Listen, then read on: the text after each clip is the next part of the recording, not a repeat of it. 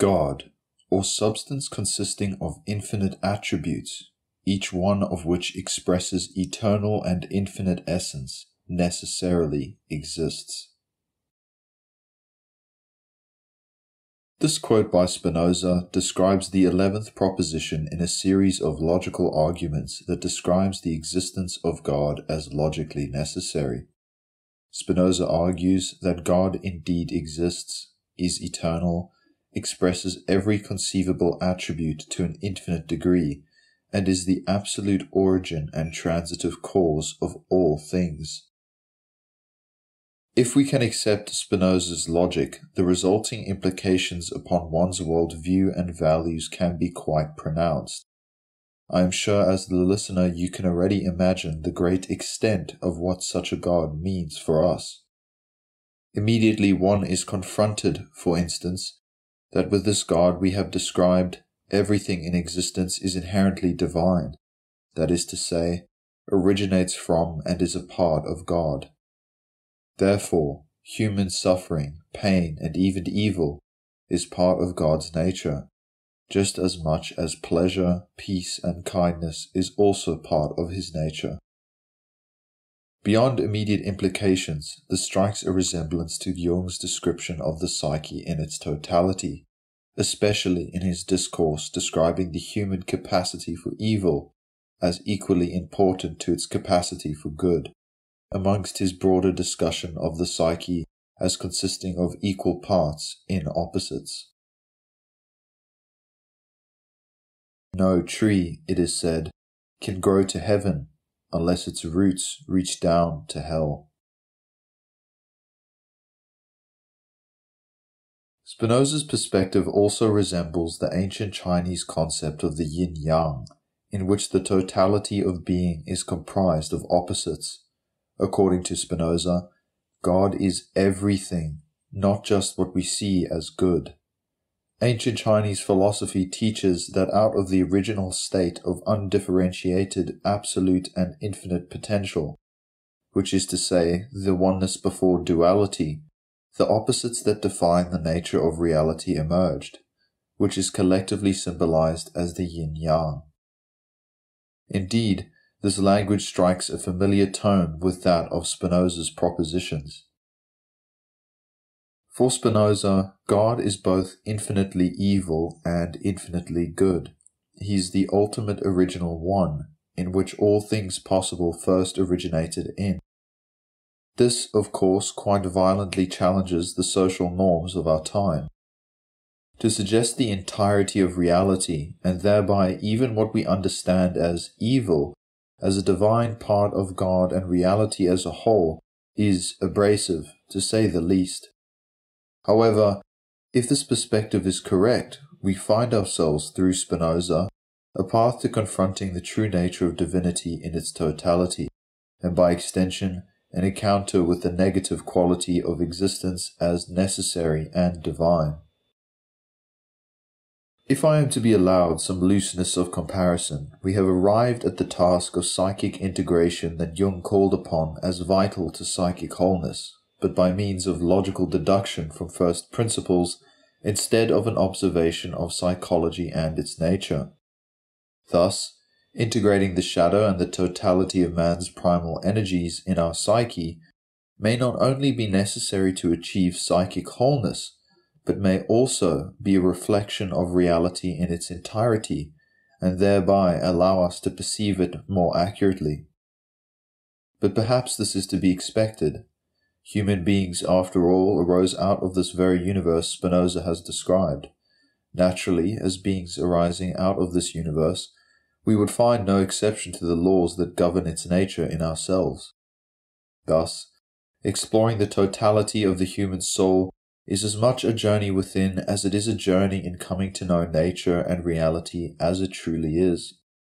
As such, Spinoza's propositions grant a profound significance to inner psychological growth and understanding, in that they affirm the vital importance of psychic maturity in constructing a clear and accurate conception of reality.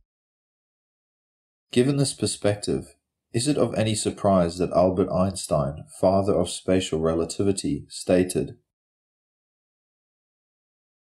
I believe in Spinoza's God, who reveals himself in the orderly harmony of what exists, not in a God who concerns himself with fates and actions of human beings. But what exactly is Spinoza's method of proof? How can one make an absolute statement for the existence of God? Is such a thing even possible? Spinoza goes even further than this and using logical argument builds a series of qualities that God necessarily holds. His method of proof is as follows. Spinoza firstly defines something called substance. Substance, to Spinoza, is that which is in itself and conceived through itself. In other words, that the conception of which does not need the conception of another thing from which it must be formed. Spinoza argues that such a substance must necessarily exist, because everything must have a cause or reason for its existence, and that reason must lie either outside of that thing or within it. In Spinoza's words, that which cannot be conceived through another must be conceived through itself.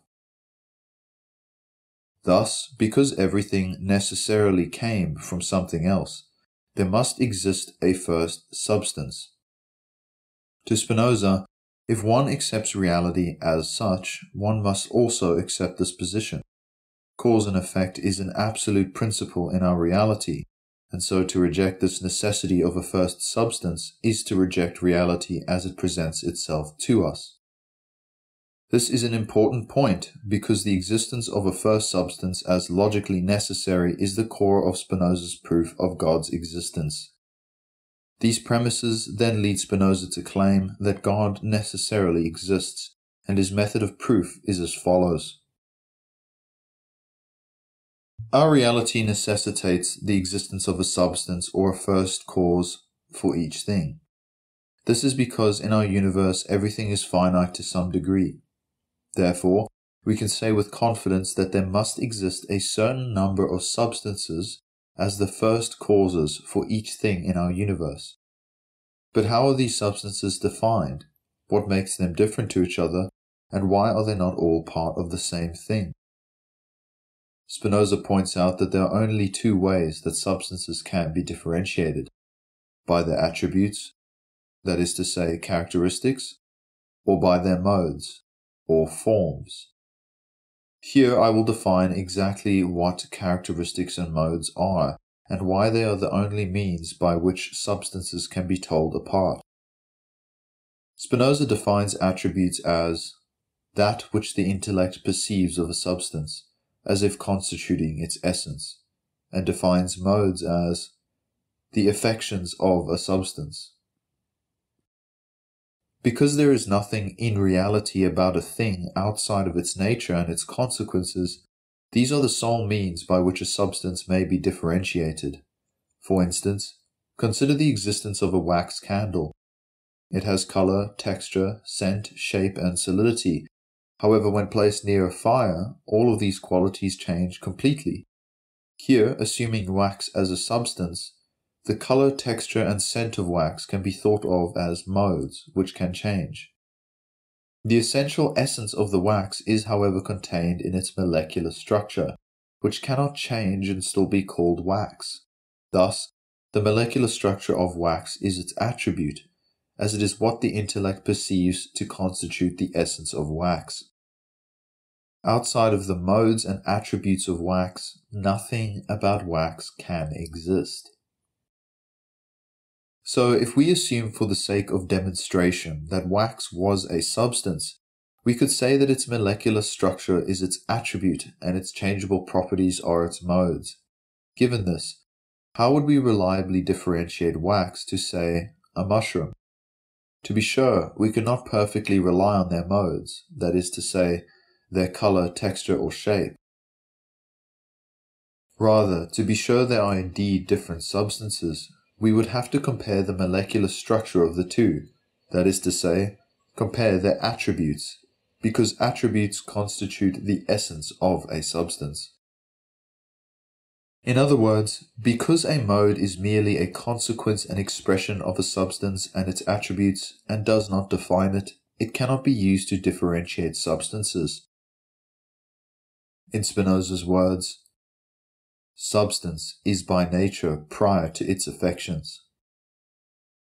Thus, modes are invalid means of differentiating substances and their attributes.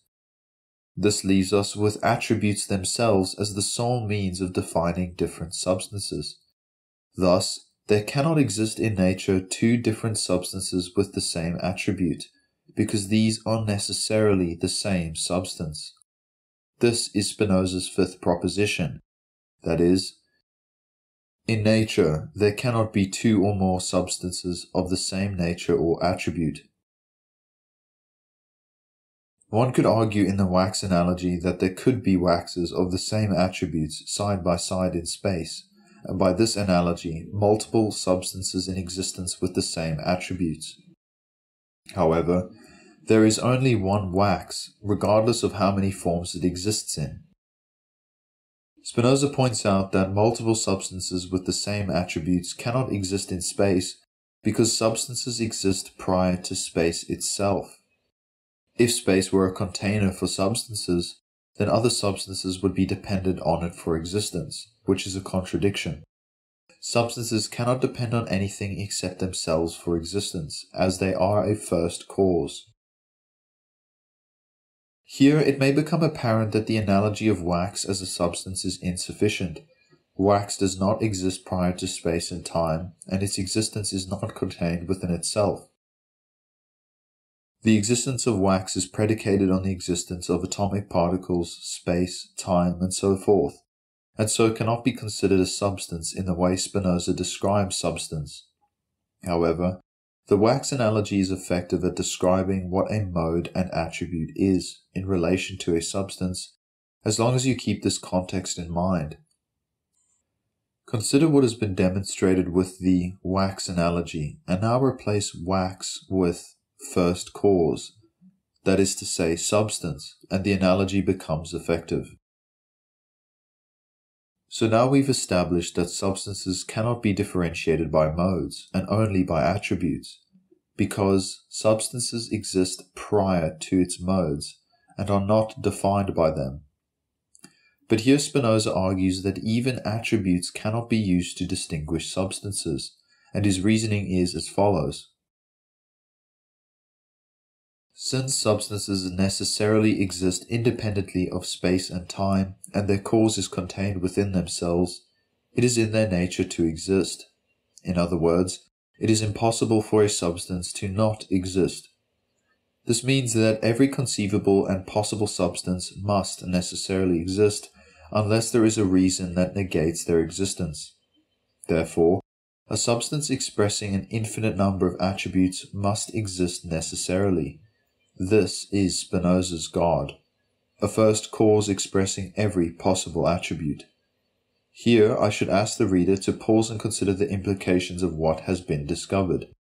We have arrived by logical deduction at the existence of an infinite substance expressing every conceivable attribute of reality. There are additional proofs listed by Spinoza in his book Ethics but each proof depends fundamentally on this same argument I have just described. So now it has been established that a substance expressing infinite attributes exists necessarily. But what about every other substance? Does not the existence of other substances detract from the importance of God?